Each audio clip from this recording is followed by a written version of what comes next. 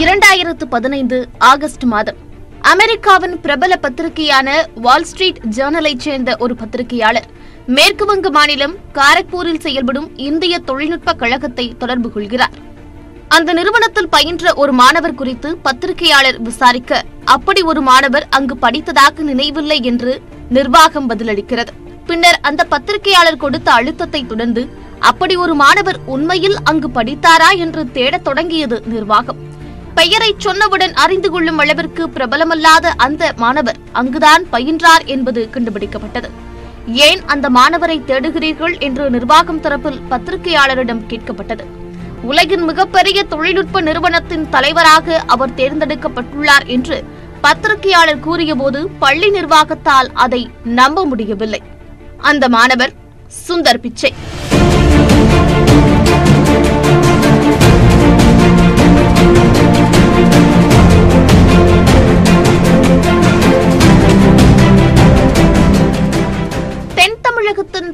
நகரம் என்று அழைக்கப்படும் மதுரையில் ஆயிரத்து தொள்ளாயிரத்து எழுபத்தி இரண்டு ஜூன் பத்து அன்று ரகுநாத பிச்சை மற்றும் லட்சுமி தம்பதியினருக்கு மகனாக பிறந்தார் சுந்தர் பிச்சை.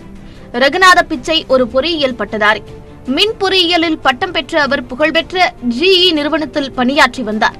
பட்டப்படிப்பை முடித்திருந்த சுந்தர் பிச்சையின் தாயார் லட்சுமி தொடக்கத்தில் ஒரு தனியார் நிறுவனத்தில் ஸ்டெனோகிராஃபராக பணியாற்றி வந்தார்.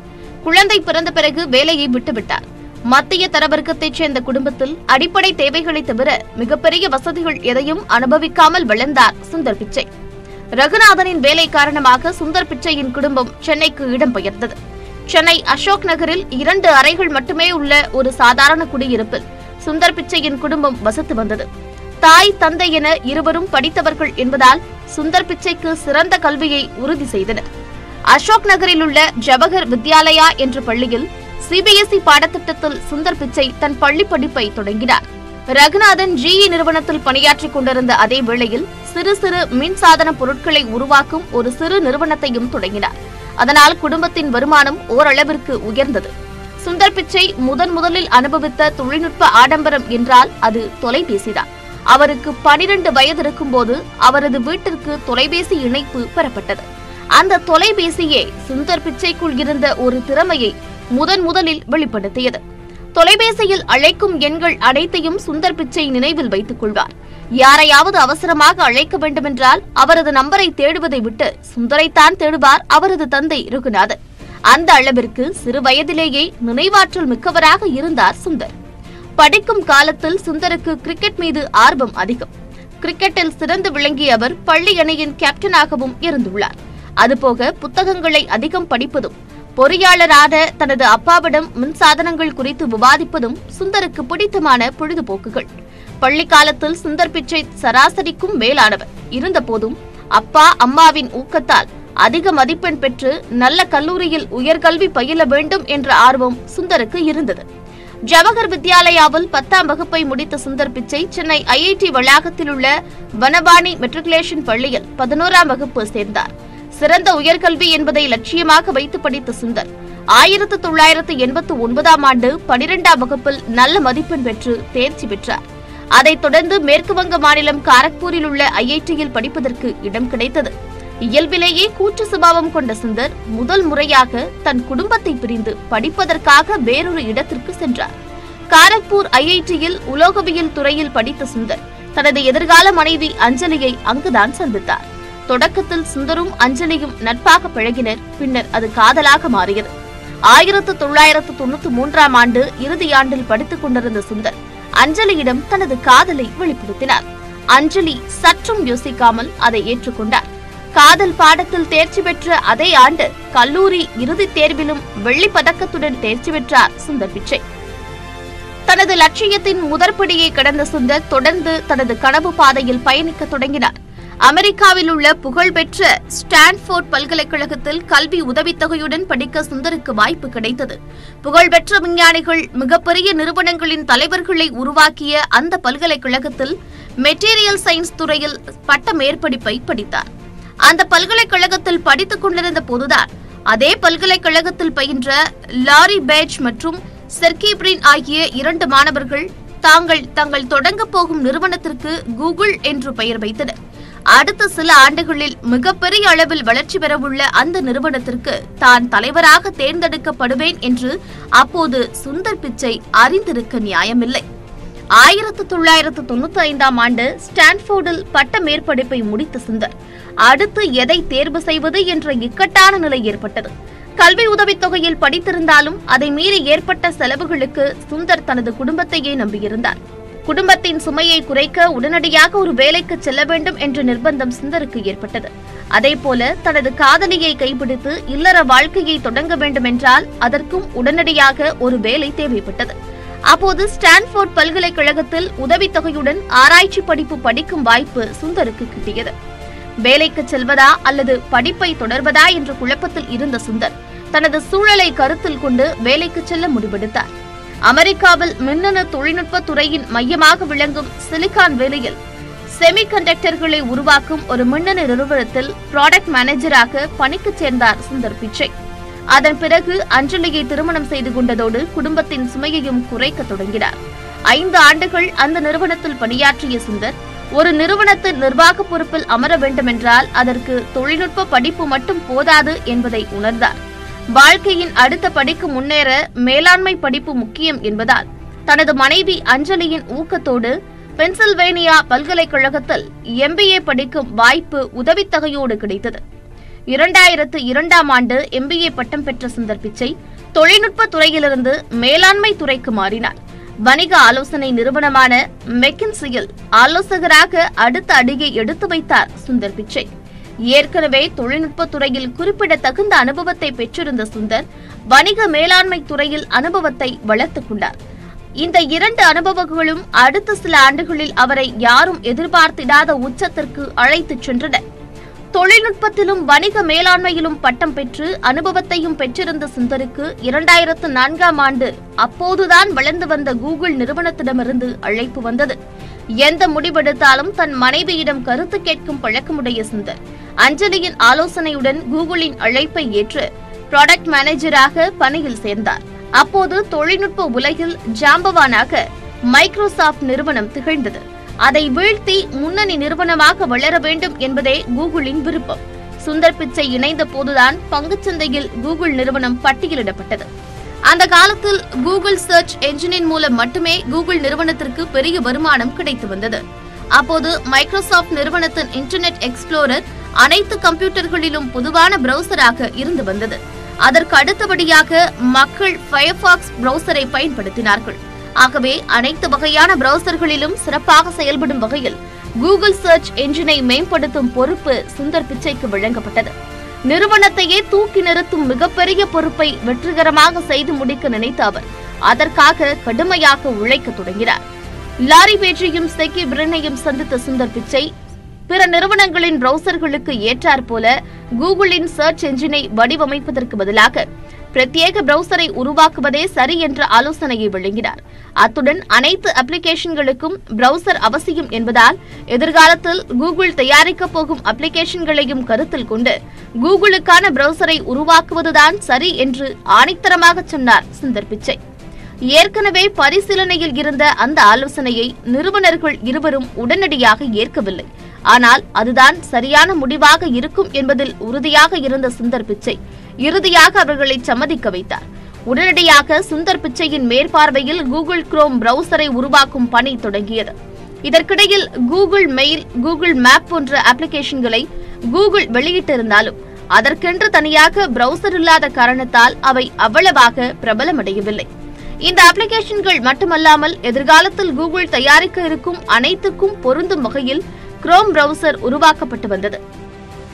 சுமார் நான்காண்டு உழைப்பிற்கு பிறகு இரண்டாயிரத்து எட்டு செப்டம்பரில் கூகுள் நிறுவனம் குரோம் என்ற பிரவுசரை வெளியிட்டது.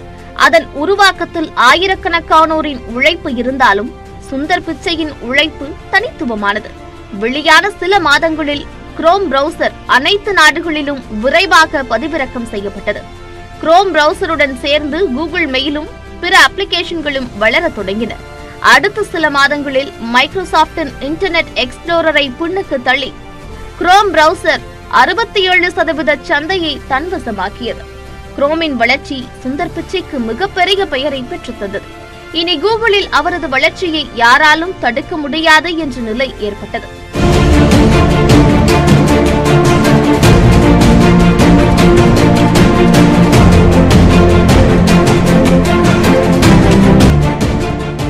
பிரவுசரை தொடர்ந்து Sundar Pichai chrome operating system Chromecast என அடுத்தடுத்த திட்டங்களை தீட்டி செயல்படுத்த தொடங்கினார்.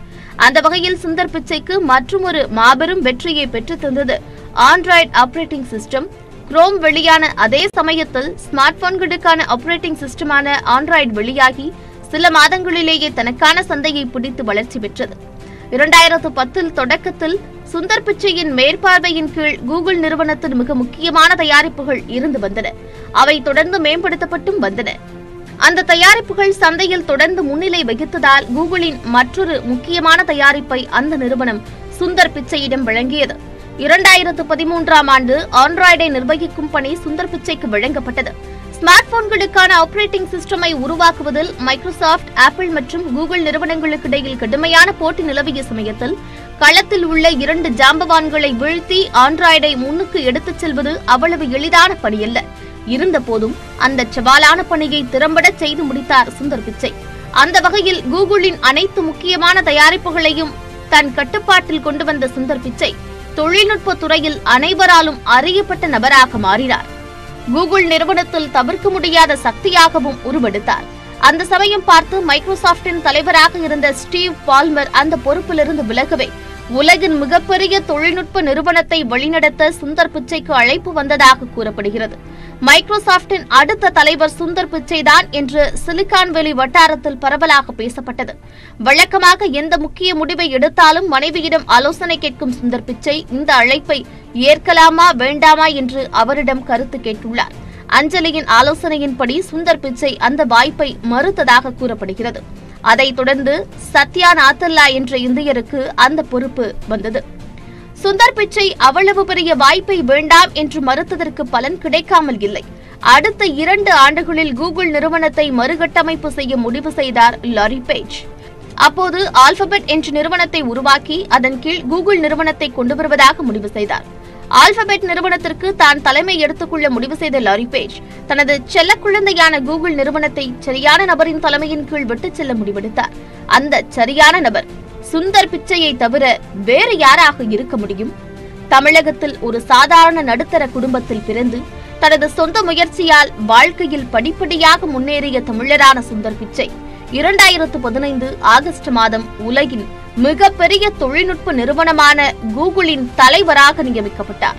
சாதனை தமிழன் சுந்தர் பிச்சைக்கு இந்தியா மட்டுமல்லாமல் உலகம் முழுவதும் இருந்து வாழ்த்துக்கள் குவிந்தன. இரண்டாயிரத்து பதினேழு ஜனவரி மாதம் கூகுளின் தலைவராக இந்தியாவில் சுற்றுப்பயணம் மேற்கொண்ட சுந்தர் பிச்சை பிரதமர் நரேந்திர மோடியை சந்தித்து பேசினார்.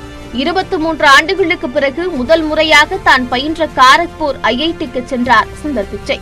சாதாரண ஒரு மாணவராக ஐஐடியிலிருந்து வெளியேறி மிகப்பெரிய நிறுவனத்தின் தலைவராக திரும்பிய சுந்தர் பிச்சைக்கு மாணவர்களும் ஆசிரியர்களும் உற்சாக வரவேற்பு கொடுத்தனர் அங்கு மாணவர்கள் மத்தியில் உரையாற்றிய சுந்தர் பிச்சை லட்சியத்தை அடைய உழைப்பு மட்டுமே போதுமானது என்பதை தனது பாணியில் விளக்கினார் you will have many, many, many opportunities to, opportunities to reinvent yourself. And so, uh, you know, so I think, you know, it's worthwhile taking risks and trying to do something you're really, uh, you know, excited by.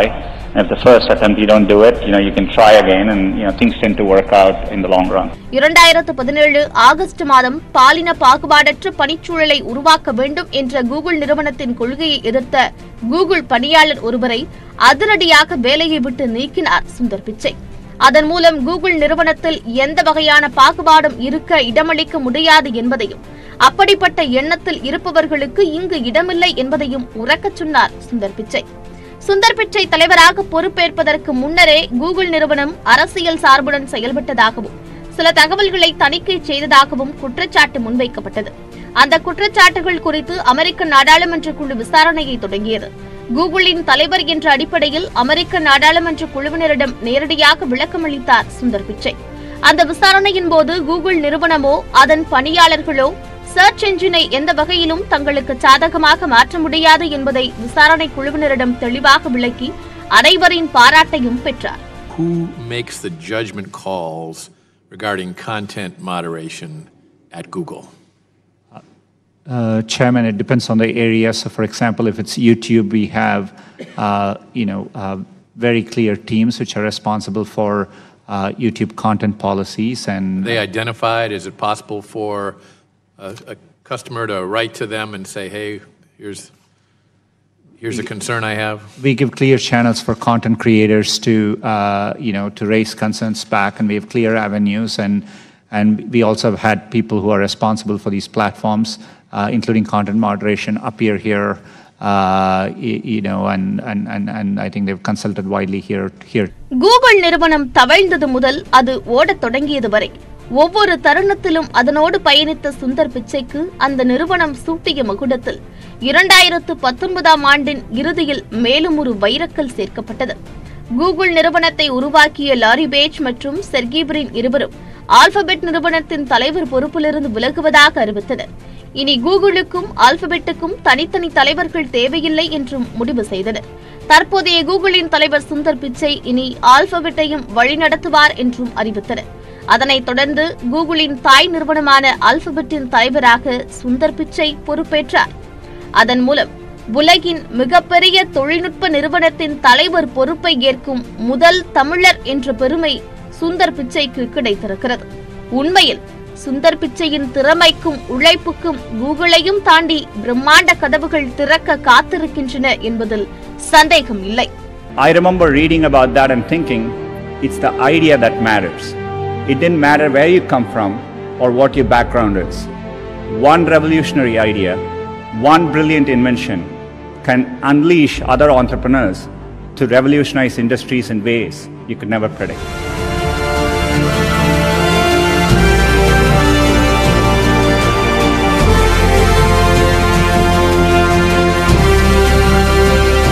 கதையல்ல வர